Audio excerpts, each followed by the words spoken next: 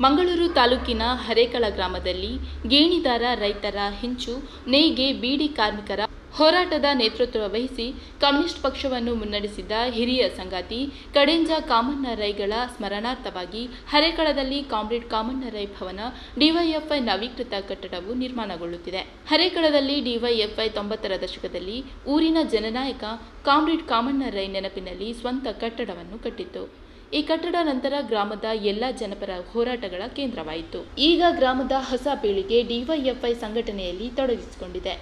ಹೊಸ ಕಾಲದ ಅಗತ್ಯಗಳನ್ನು ಮನಗಂಡು ಹಳೆಯ ಕಟ್ಟಡದ ಜಾಗದಲ್ಲಿ ಹೊಸ ಕಟ್ಟಡ ಕಟ್ಟಲು ತೀರ್ಮಾನಿಸಿತು. ಗ್ರಾಮಸ್ಥರ ಪೂರ್ಣ ಬೆಂಬಲದಿಂದ ಅತ್ಯಂತ ತ್ವರಿತವಾಗಿ ಕಾಮಣ್ಣ ರೈ ನೆನಪಿನ ಭವನ ವಿಶಾಲವಾಗಿ ಎದ್ದು ನಿಂತಿದೆ. ಇದು ಮುಂದಿನ ದಿನಗಳಲ್ಲಿ ಗ್ರಾಮದ ವಿದ್ಯಾರ್ಥಿ ಯುವಜನರನ್ನು ಆರೋಗ್ಯಕರವಾದ ವೈವಿಧ್ಯಮಯ ಚಟುವಟಿಕೆಗಳಲ್ಲಿ ತೊಡಗಿಸುವ ಮಾರ್ಗದರ್ಶನ ಕೇಂದ್ರವಾಗಿ, ಸರ್ಕಾರದ ಸವಲತ್ತುಗಳನ್ನು ಜನರಿಗೆ ತಲುಪಿಸುವ ಮಾಹಿತಿ ಕೇಂದ್ರವಾಗಿ ಕಾರ್ಯಾಚರಿಸಲಿದೆ. ಡಿವೈಎಫ್ಐ ಕಾರ್ಯಕರ್ತರು ಗ್ರಾಮಸ್ಥರ ಸಂಪೂರ್ಣ ಬೆಂಬಲದಿಂದ ಹಗಲಿರುಳು ದುಡಿದು ನಿರ್ಮಿಸಿದ ಕಾಮ್ರೇಡ್ ಕಾಮಣ್ಣ ರೈ ಭವನದ ಉದ್ಘಾಟನೆಯನ್ನು ಫೆಬ್ರವರಿ ಹತ್ತೊಂಬತ್ತರಂದು ಸಂಜೆ ನಾಲ್ಕು ಗಂಟೆಗೆ ವಿಜೃಂಭಣೆಯಿಂದ ನಡೆಸಲು ನಿರ್ಧರಿಸಿದ್ದಾರೆ. ಡಿವೈಎಫ್ಐ ಅಖಿಲ ಭಾರತ ಅಧ್ಯಕ್ಷರು, ರಾಜ್ಯಸಭಾ ಸದಸ್ಯರು ಎಎ ರಹೀಂ ಕಟ್ಟಡ ಉದ್ಘಾಟನೆಯನ್ನು ನೆರವೇರಿಸಲಿದ್ದಾರೆ.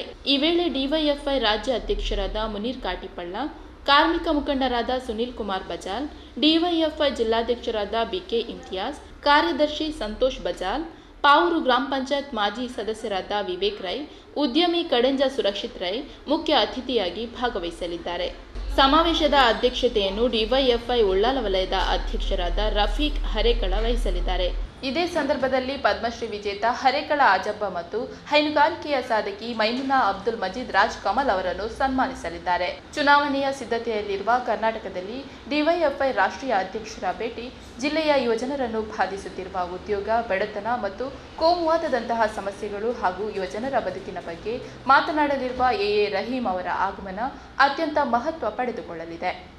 ಉದ್ಘಾಟನೆ ಸಂದರ್ಭ ಎಲ್ಲಾ ವಿಭಾಗದ ಯುವಜನರನ್ನು ಒಳಗೊಂಡು ನಡೆಯುವ ಬೃಹತ್ ಸಾಮರಸ್ಯ ಸಮಾವೇಶ ಮತ್ತು ಉದ್ಘಾಟನೆ ಕಾರ್ಯಕ್ರಮದ ಪ್ರಯುಕ್ತ ನಡೆಯುವ ಹರೇಕಳ ಕಡವಿನ ಬಳಿಯಿಂದ ನಡೆಯುವ ಆಕರ್ಷಕ ಯುವಜನ ಮೆರವಣಿಗೆಯಲ್ಲಿ ಜಿಲ್ಲೆಯ ಯುವಜನತೆ ಭಾಗವಹಿಸಬೇಕೆಂದು ಡಿವೈಎಫ್ಐ ಉಳ್ಳಾಲ ವಲಯ ಕಾರ್ಯದರ್ಶಿ ಸುನೀಲ್ ದೇವ್ಲಾ ಪತ್ರಿಕಾ ಪ್ರಕಟಣೆಯಲ್ಲಿ ತಿಳಿಸಿರುತ್ತಾರೆ.